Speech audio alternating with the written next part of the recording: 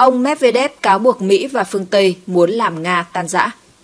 Ông Dmitry Medvedev, Phó Thư ký Hội đồng An ninh Nga, đã cáo buộc phương Tây đang âm mưu làm tan rã, đồng thời cảnh báo toan tính này có thể dẫn tới kịch bản ngày tận thế.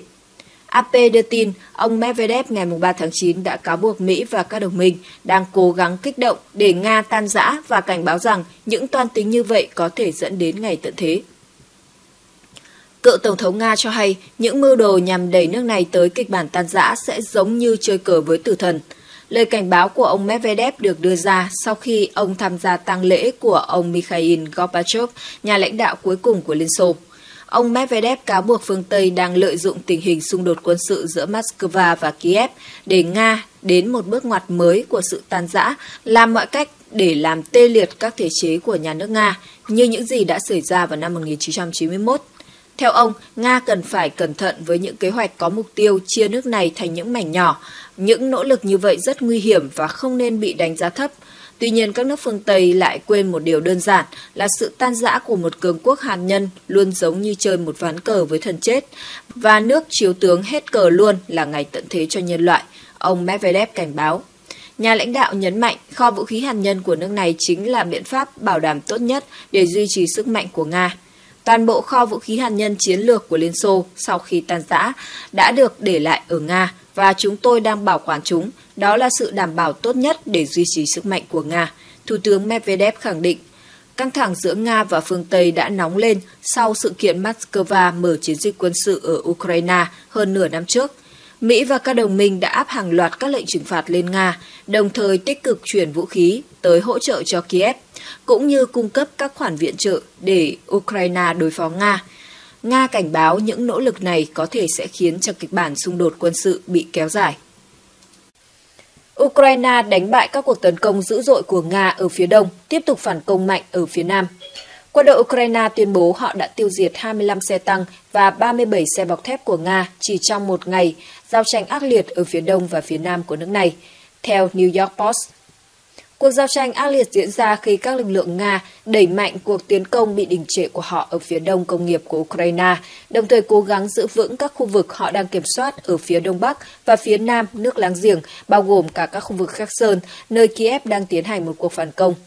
Các lực lượng Ukraine trong ngày 3 tháng 7 cho biết họ đã đánh bại 6 cuộc tấn công của Nga trên khắp khu vực Donetsk. Donetsk là một trong hai tỉnh ở trung tâm công nghiệp Donbass của Ukraine, là mục tiêu chính của quân đội Nga. Tỉnh Lugansk láng giềng đã bị quân đội Nga tiếp quản vào tháng 7. Kể từ khi xung đột bắt đầu, các lực lượng Ukraine tuyên bố đã phá hủy gần 700 xe tăng Nga và hơn 4.400 xe chiến đấu bọc thép cùng một loạt các thiết bị quân sự khác của đối phương.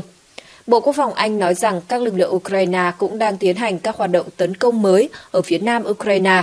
Bản cập nhật của Bộ Quốc phòng Anh cho biết quân đội Ukraine đang tiến dọc theo một mặt trận rộng lớn ở phía tây sông Dnieper, tập trung trong ba trục trong khu vực Kherson do Nga kiểm soát.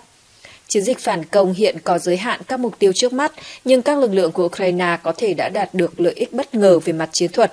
Bộ Quốc phòng Anh bình luận, trong những ngày tới, các chỉ huy Nga sẽ phải quyết định xem họ sẽ triển khai lực lượng dự bị đến điểm nóng nào. Ukraine đối phó với nguy cơ dò dỉ phóng xạ tại nhà máy hạt nhân Zaporizhia như thế nào? Tuần này, Liên minh châu Âu EU đã tặng 5,5 triệu viên kali iodua cho Ukraine trong bối cảnh lo ngại về các cuộc pháo kích cùng nhiều hoạt động quân sự khác gần nhà máy Zaporizhia có thể gây ra một thảm họa hạt nhân. Một tuyên bố từ Ủy ban châu Âu hôm 30 tháng 8 đã công bố khoản viện trợ, mô tả đây là một biện pháp an toàn phòng ngừa để tăng mức độ bảo vệ xung quanh nhà máy. Không một nhà máy điện hạt nhân nào nên được sử dụng trong xung đột. Janet Lenachik, Ủy viên phụ trách quản lý khủng hoảng của khối, cho biết trong một tuyên bố. Không thể chấp nhận được việc tính mạng dân thường bị đe dọa, mọi hoạt động quân sự xung quanh nhà máy điện hạt nhân Zaporizhia phải dừng lại ngay lập tức. Chúng tôi sẽ tiếp tục đề phòng và sẵn sàng hành động. Nhà máy Zaporizhia đã được quân Nga tiếp quản trong những ngày đầu triển khai chiến dịch quân sự, nhưng vẫn do người Ukraine vận hành. Ukraine và Nga đã có những cáo buộc pháo kích gần nhà máy trong những tuần gần đây. Nhà điều hành Enecoatom cho biết hôm 1 tháng 9 rằng một trong hai lò phản ứng đang hoạt động của nhà máy đã ngừng hoạt động do bị Nga pháo kích, Reuters đưa tin. Tuy nhiên kể từ khi xác nhận trên Telegram lò phản ứng đã hoạt động trở lại. Một phái bộ từ Cơ quan Năng lượng Nguyên tử Quốc tế mà CNBC xác nhận đã đến nhà máy hôm 2 tháng 9 nhằm giúp đảm bảo an ninh và an toàn hạt nhân tại đây. Những nỗ lực của Ukraine nhằm chuẩn bị cho dân thường đối phó với nguy cơ cháy nổ hạt nhân tại Zaporizhia bao gồm việc phân phát thuốc kali iodua. Theo Trung tâm Kiểm soát và Phòng ngừa Dịch bệnh CDC của Mỹ, kali iodua KI là một loại iốt không có tính phóng xạ nhưng có thể giúp ngăn chặn việc tuyến giáp hấp thụ iốt phóng xạ. Iốt phóng xạ có thể được thải ra môi trường trong một số trường hợp, chẳng hạn như tai nạn nhà máy điện hạt nhân và xâm nhập vào cơ thể qua đường thở hoặc đường ăn uống. CDC cho biết tuyến giáp hấp thụ lượng iốt phóng xạ cao có thể làm tăng nguy cơ ung thư tuyến giáp ở trẻ sơ sinh, trẻ em và thanh niên nhiều năm sau khi tiếp xúc. Để kali iodo hoạt động hiệu quả chống lại tác hại của iốt phóng xạ, nó phải được dùng trước hoặc ngay sau khi tiếp xúc. CDC giải thích, khi một người uống đúng lượng KI vào đúng thời điểm, nó có thể giúp ngăn tuyến giáp hấp thụ iốt phóng xạ.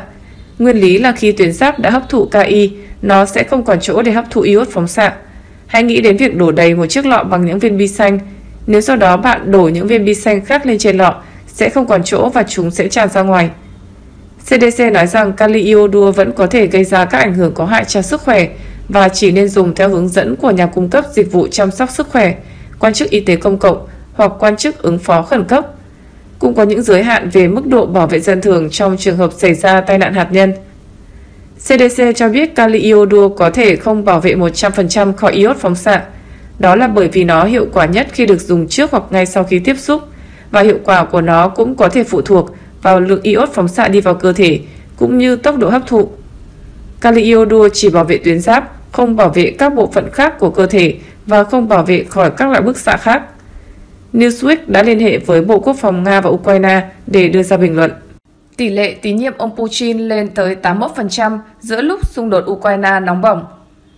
Hãng thông tấn nhà nước Nga TASS dẫn kết quả một cuộc điều tra xã hội cho thấy tỷ lệ công dân nước này tín nhiệm Tổng thống Putin vẫn ở mức cao 81% vào cuối tháng 8 năm 2022 và có tới 78,1% số người được hỏi ủng hộ công việc của ông. Cuộc điều tra dư luận được thực hiện từ ngày 22 tháng 8 đến 28 tháng 8 trên 1.600 người trong độ tuổi trên 18. Các kết quả do Trung tâm Nghiên cứu Công luận Toàn Nga công bố. Theo cuộc điều tra này, tỷ lệ tín nhiệm dành cho Thủ tướng Nga Mikhail Mishustin là 62,5%, có mức độ ủng hộ dành cho đảng cầm quyền, đảng nước Nga Thống nhất là 40,2%. Trong khi đó, phương Tây dự đoán cuộc chiến kéo dài tại Ukraine sẽ khiến cho người dân Nga mất tín nhiệm vào Tổng thống Putin, thậm chí có thể dẫn tới một sự thay đổi chế độ.